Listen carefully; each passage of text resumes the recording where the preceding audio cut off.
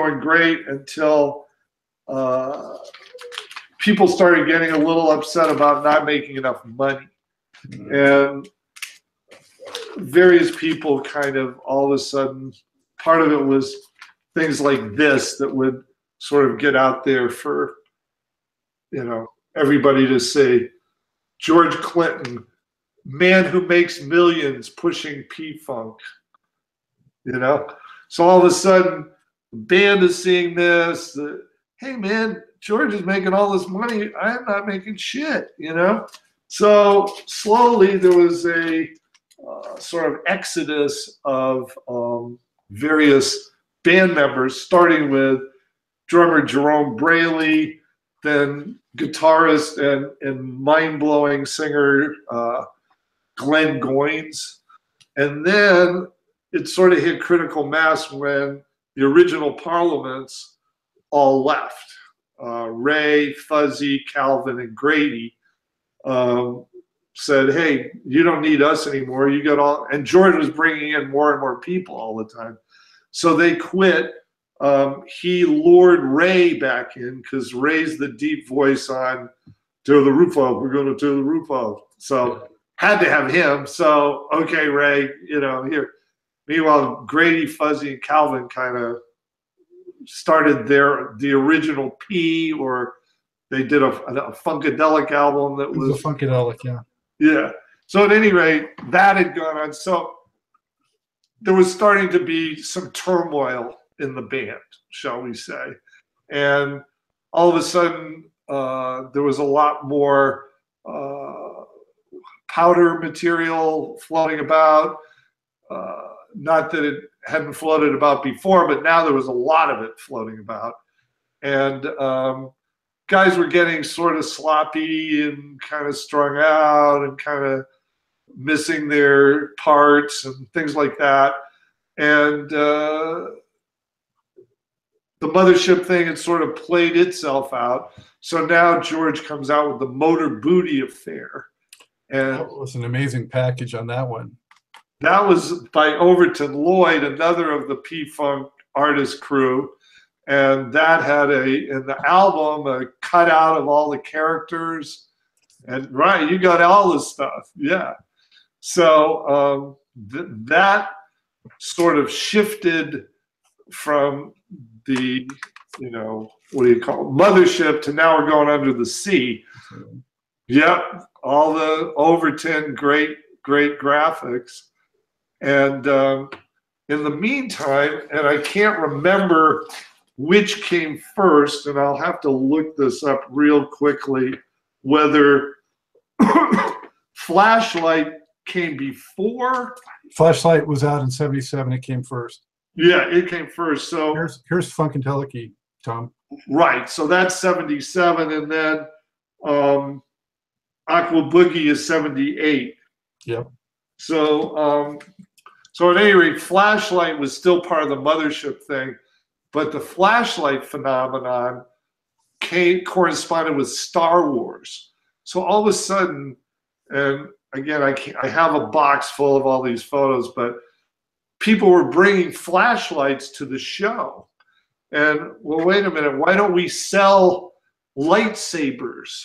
So people started our merch started selling these lightsaber things. And again, this is black audiences on their own bringing or buying these flashlights. And when P Funk would hit the stage, it was a sea of people waving these things and just like totally on. And when flashlight would hit in the set, again, people would go fucking insane. Okay. I, I got to I got I got to Jack. That song when I first heard it, I got the record the day the album came out, and I it blew my mind. I never heard anything like Flashlight before it. Right. Right. It was, it was a landmark r- recording. Yeah, and again, a lot of people. Bernie Worrell, let's talk about him for a minute. Um, Bernie was the genius behind Flashlight. He was playing bass, all the keyboard runs, all the flavor. The only thing he wasn't playing was the drums the sax. So Bernie Worrell was a classically trained child prodigy who gave his first piano recital when he was five years old, played Brahms, Beethoven, could read and write music by the time he was seven years old, went to the New England Conservatory of Music, was classically trained, and is, again, talented as all these people are and were. Bernie was another level of talent. He was beyond great. He was, again, genius. And George's genius, George, quite frankly, not that talented, not a great dancer, not a great singer. You know, what George was, was a great recognizer of talent and giving that talent the ability to create and and make itself heard. So whether it was Michael Hampton playing guitar, Bernie on keyboards, Bootsy on Pedro Bell on art, Overton on art, whoever it was, he allowed them the freedom to create and express themselves with funk as the core to what they were doing. And to get so many people so involved in his vision and a vision they shared. And uh, again, I'm going to digress for a minute because a lot of that vision was built around consumption of various drugs. And um, LSD, again, was an important component in George's, uh, how do I say it, evolution. Um, he was first turned on to LSD when he was at the Sugar Shack, a club in Boston, and some Harvard students turned him on in I think it was 1966, which is sort of early. That Tim Leary was there. This was sort of the early days. Little did you know you were not far away, right? Exactly.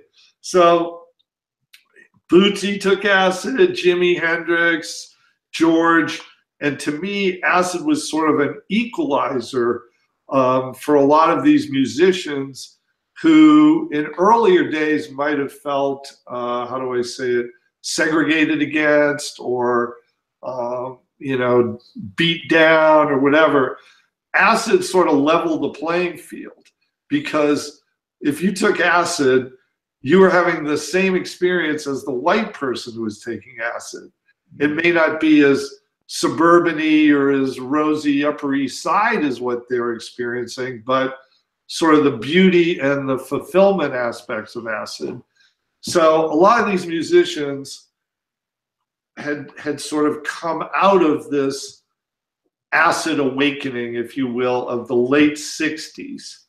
And George then with Funkadelic, I mean Funkadelic, psychedelic. George played all the rock festivals in and around with D- Detroit with the MC5, Iggy Pop and the Stooges, Ted Nugent, SRC, all the Detroit based, Bob Seger. He knew all those guys and, you know, hung out. And then he would take acid and go into the ghetto and play at this club called the 20 Grand and play in front of Motown executives, guys like Norman Whitfield, who would record the P Funk set and then take riffs and bits out of it and build songs like Papa Was a Rolling Stone, Smiling Faces. A lot of the Norman Whitfield songs were directly influenced by seeing George on acid at the 20 Grand Club in Detroit. So acid was a big part of it. Then herb became a big part of it because herb was like, you know, smoking a cigarette compared to taking acid, you know. But it kind of again leveled you out, made you mellow, blah blah blah. So there was a lot of herb being consumed by a lot of these players, and then unfortunately, cocaine became the dominant drug of choice, both in the industry at large and in P Funk in particular. And for me personally, even though I'm not going to lie, I was, you know, I wasn't the little choir boy in the corner saying, "Oh no, you guys have fun with that." Um, it sort of slowly unraveled the P Funk vibe to the point where it just wasn't working anymore, especially when another thing called Freebase reared its ugly head. So that's to me when everything sort of started to go downhill, along with um, sort of guys leaving the act, you know, key players leaving. George would bring in guys like Junie Morrison, another genius keyboard arranger guy. Um, Yeah, he was. Uh, he was instrumental on that record as well as on um, Motor Booty Affair. also One Nation too. Yeah, yeah, all the So- signatures on that one. yeah. I'm seeing. So, um, Ber- um, as great. See, Bernie was getting ready to leave because the Talking Heads were swooping in to steal Bernie away. So there was a little bit of an overlap between Bernie and Junie, but then Bernie left and Junie became the dominant keyboardist on stage, and and Jerome Brailey had left, and uh, Tyrone Lampkin became the drummer. Then Tyrone had some issues, and he left, and unbelievable drummer of all time, Dennis Chambers comes on board. So there was this constant flow of great musicians creating great music, but there was chaos everywhere else. George was going through management changes, record labels were going out of business. He was getting in trouble with various uh, record labels over album art problems. And slowly, over the course of, I'm going to say six to nine months, the air slowly went out of the P Funk balloon to the point where uh, it had gotten not that much fun anymore. You know, uh, Sony changes had gone down, and a lot of the key players that I was tight with, both on the management side as well as in the band, were leaving. And even though I was tight with the new guys and everything was relatively cool, um, Warner Casablanca Records, we had a custom label deal with them. They went bankrupt. That deal went away. Parliament put out Trombipulation, and that was the end of that. I'm sure you got Trombipulation right there. One of the greats, last great Parliament record right there. So um, that came out. That was the last thing. And he had a custom label deal with Casablanca. That went away. Um, uh, Funkadelic, meanwhile, had gotten, uh, how do I say it, uh, in some trouble with Warner Brothers Records over the cover art to um, Electric- Electric Spanking. And Pedro Bell had to censor his artwork, which for an artist is like, no, you know, so that was difficult. And uh, they ended up dropping Funkadelic because, yeah, all that green stuff, and it was a lot more graphic, let's put it that way. And Well, that's a lot more graphic. yeah, yeah. So Pedro went a little overboard, and what he could get away with at Westbound Records, Warner Brothers wasn't really feeling it. So, so within a course of six months, Casablanca gone, bye bye.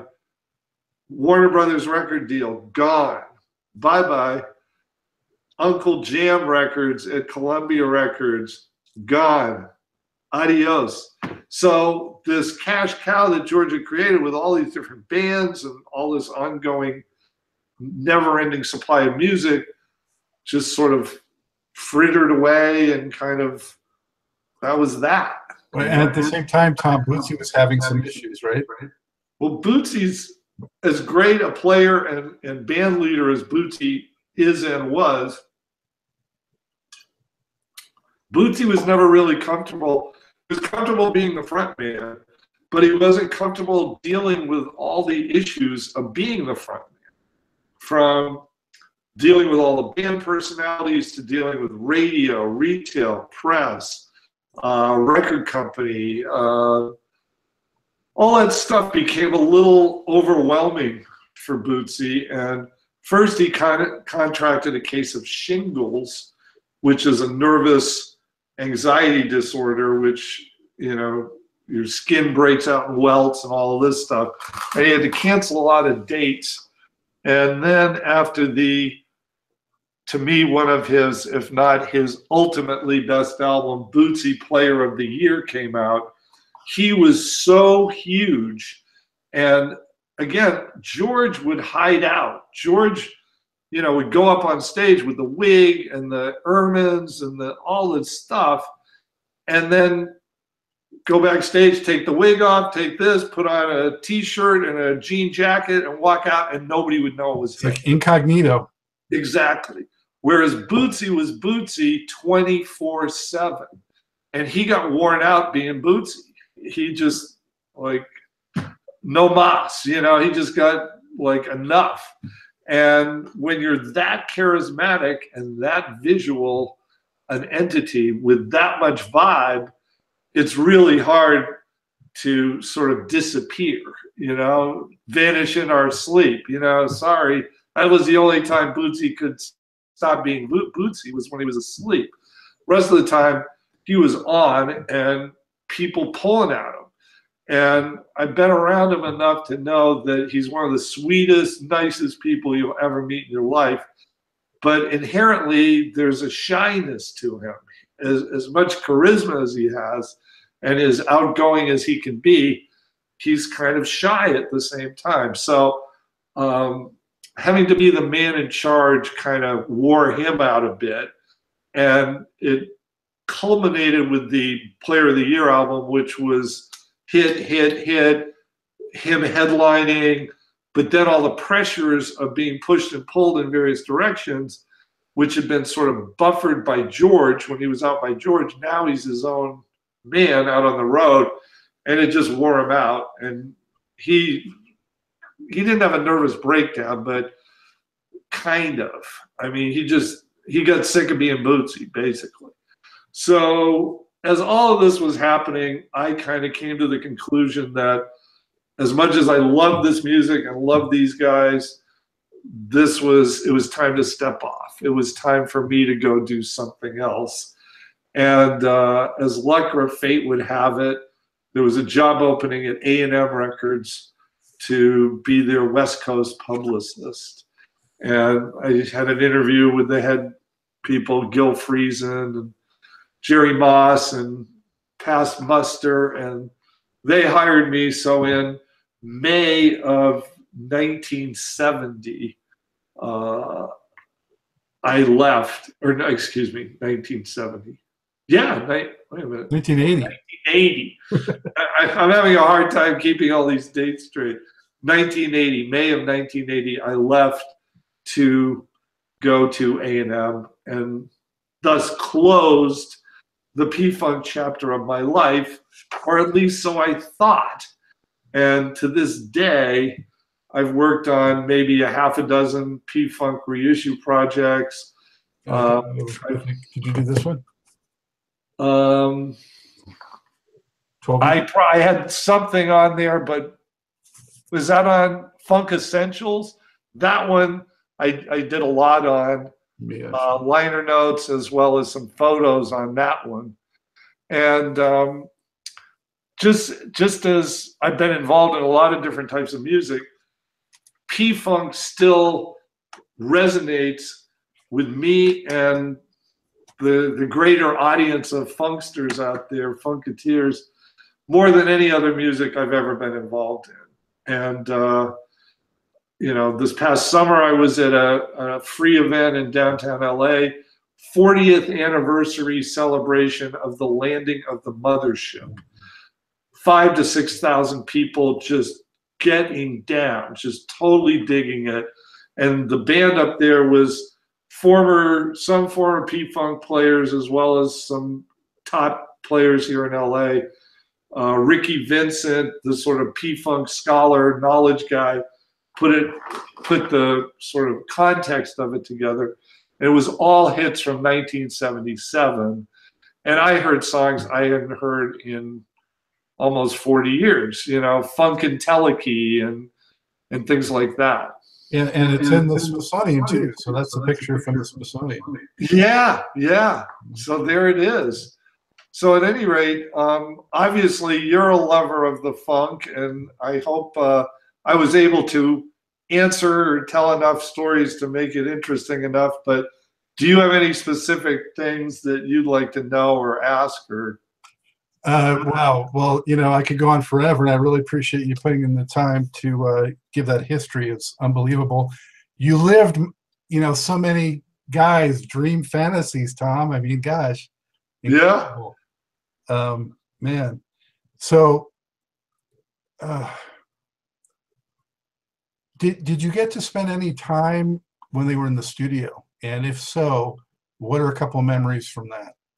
Um, I spent a fair amount of time when they were recording the Clones album because they were recording just here in Hollywood.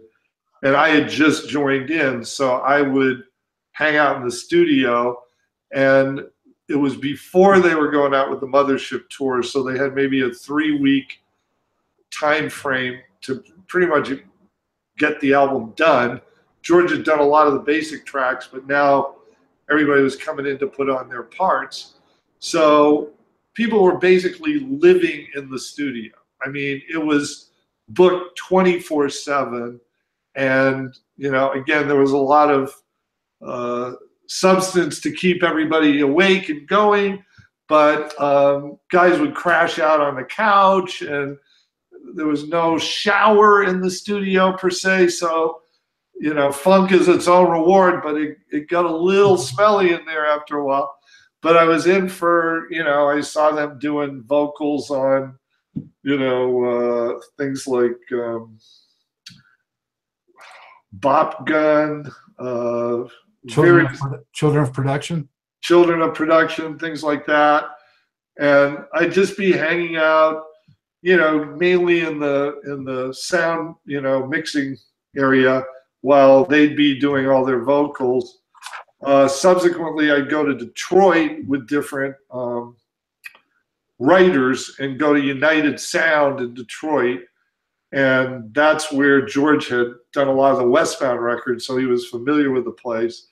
And uh, he had a guy named Ron Dunbar, who was an Invictus producer. He'd originally done uh, Clarence Carter, Patches, Freda Payne Band of Gold, a uh, number of Detroit R&B hits, and he would do some of the, again, Parlet, uh, Sweat Band, um, things like that. And I will say I, will never forget the first time I heard Flashlight. There you go. Yeah. And again, Ron Stozo Edwards uh, artwork there. Um, but the first time I heard Flashlight was I was in Detroit and I wasn't in the studio, but George, he had this bag full of cassettes. There must have been 80 to 100 cassettes in there. None of them marked, no markings of any kind on any cassette. George would reach into the bag, shuffle them around. Oh man, here's what I want to play. Boom. And he put it on the car stereo or whatever. First time I heard Flashlight was driving around Detroit with George and Archie Ivy, and he put on Flashlight. And again, my head, you know, it, it's amazing I have a skull left. I mean, I was like, oh my God, this is going to be such a hit. So, sure enough, you know, that was, you know, amazing. And I was there pre release to hear it, you know. Wow. The other guy who I have yet to mention who was another ultra talented genius that George had the uh, ability to recognize and bring into the P Funk fold, was Roger Troutman and Zapp. And I spent a lot of time in Dayton, Ohio with Roger. I was very close with him and uh, got to see him at work. And oh my, again, I mean, this guy was genius. I mean, everybody, the big thing back then was hand clap sound and getting the most snap on your clap. And he had a hand clap sound that was just like, how in the name of God did you do that? and, you know, between his talk box and, I mean, he could play drums, bass, keyboard, harmonica, saxophone, guitar, and and then the rest of the Zapp band, his family, and this and that, they were all incredible. So spent a lot of time in in, in Dayton as well. So um, the, I didn't see Bootsy record so much. Uh, the, my only studio experience with Bootsy was he had to edit down singles that were going to come for the Bootsy Player of the Year album, like uh, uh, Bootzilla. And Bootzilla was originally like eight minutes long. And first he had to knock it down to maybe four and a half to five minutes for the album, and then three and a half to four minutes for the single. He was going out of his mind. He was like, how can I cut this out? How can I? Oh man, you know, he was like hating on the whole editing process. But we got it done, and that went on to be a number one single for him. And the Player of the Year album, I think, was a number one R&B album. So, um, like I said, I feel blessed. I was, I can't say I was the right guy. I was just through serendipity or luck or fate or however you want to put it. I was at the right place at the right time with the right band at, at a time where they created a musical movement that still lives on to this day. So I feel very fortunate, very proud, and I still love that music. I love the people who create it. And there's a community among funk people. There's it's almost like hippies back in the 60s. If you saw somebody with long hair, you go, oh, that guy's yeah. Now, if you see somebody who's sporting the funk on some level, or you know was a part of that world, it's like instant communication, instant understanding, instant on the one band. You know? Let me ask. Let me ask this: This. you ever believe that after being around for sort of the demise, that in 2017 and 2018, George will still be doing what he's doing?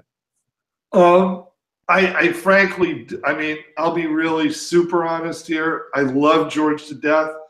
Um, I'm thrilled that he's still doing what he's doing. I'm still, I'm thrilled that he's alive and that he's as lucid and cogent and intelligent now as he was when I first met him 40 years ago.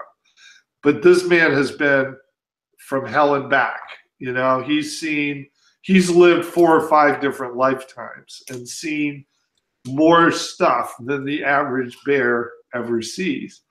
Um, I think part of it, though, is necessity is the mother of invention. And as we were talking earlier, um, the actually, I was talking with someone else about this.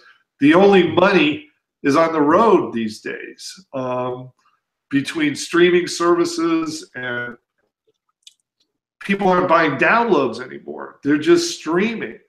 And those, I don't care whether it's Spotify, iTunes, YouTube, Pandora, whatever it is, they're not paying enough for the content they're delivering. So that income has gone from, let's just say back in the day, live performance and, and record sales were even or around this area. Now it's live performance up here, music sales down here. There's such a huge gap. And, you know, unfortunately, this is George has to do this, whether he wants to or not. Mm-hmm. Now, he's again a loyal person. He's brought in his family. They they sort of put on this show, which I've seen recently, that is different from what I saw back in the day. But for today's generation, it's compelling, funky, maybe a little more hip hop than I might like. Right. But for an 18 to 25, 28 year old kid, it's right in their sweet spot. So well, now the audience is primarily white too. I'd say 80 to 90 percent white, and the 10 to 20 percent who aren't are people my age who are coming out because they remember it from when they were younger and they want to re-experience that vibe, you know. but uh, you're right. It's mainly white kids.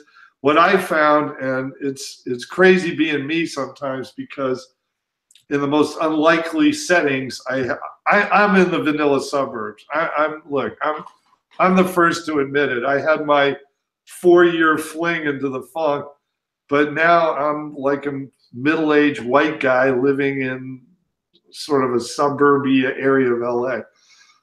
All of my friends have kids, and all of their kids come up to me and they go, Excuse me, Mr. Vickers. Yes.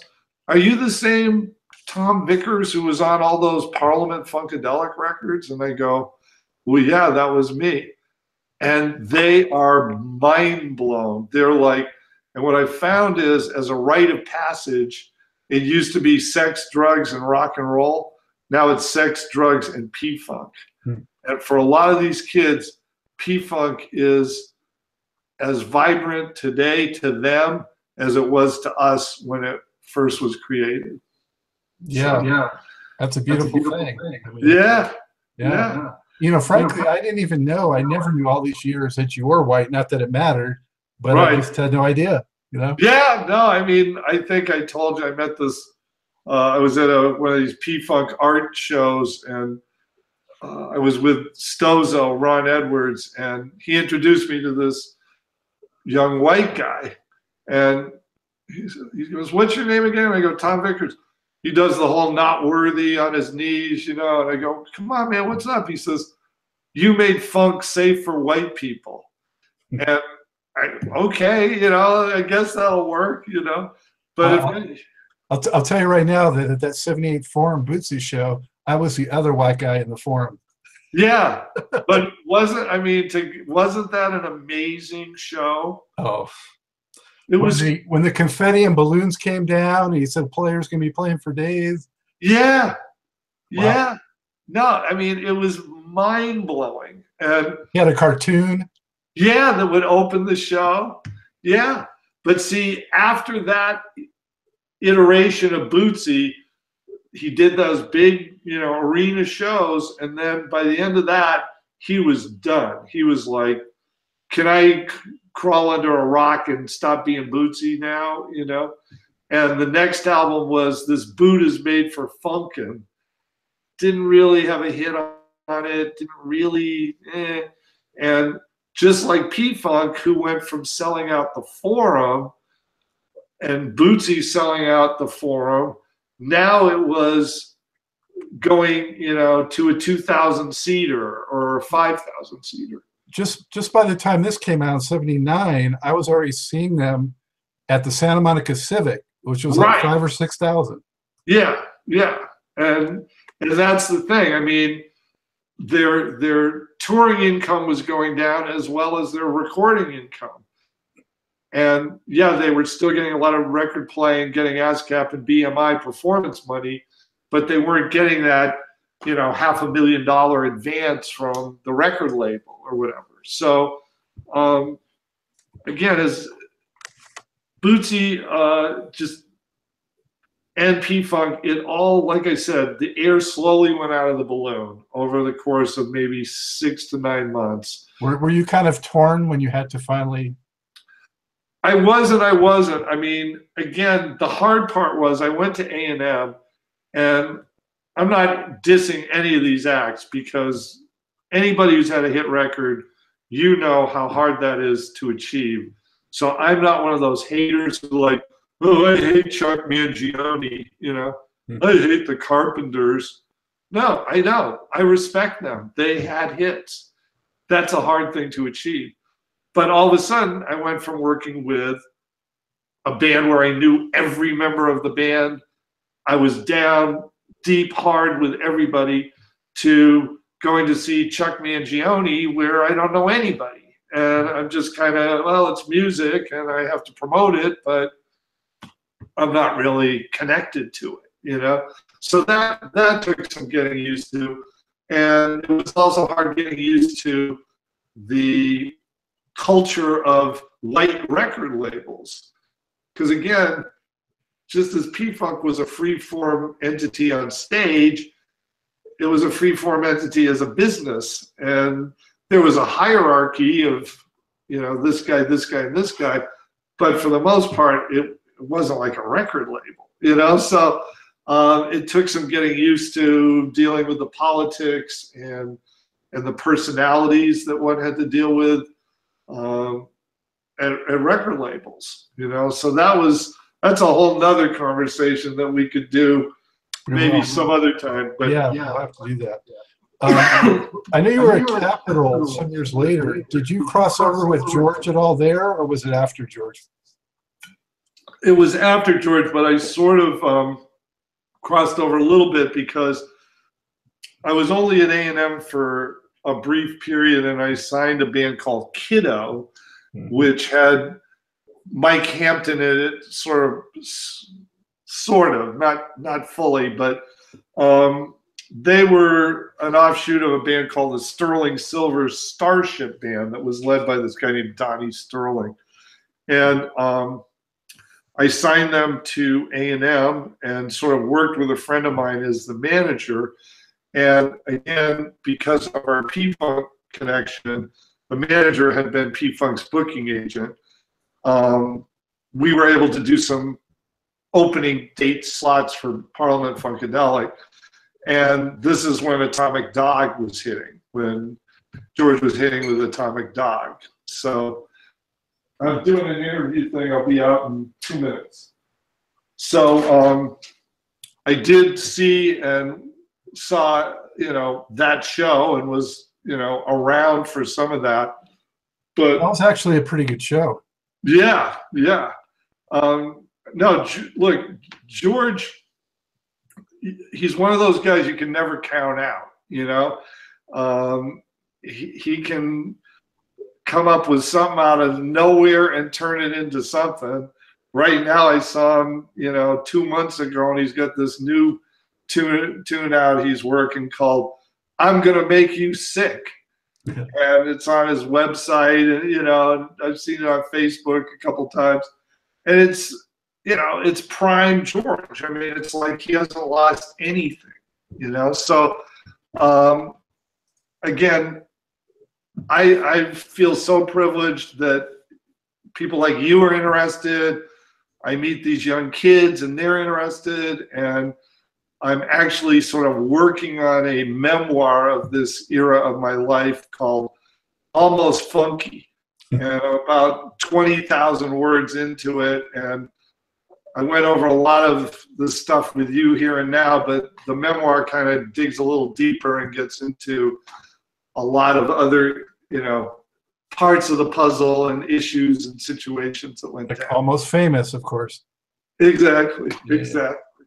So well, well, I, I, I appreciate you being so generous with your time.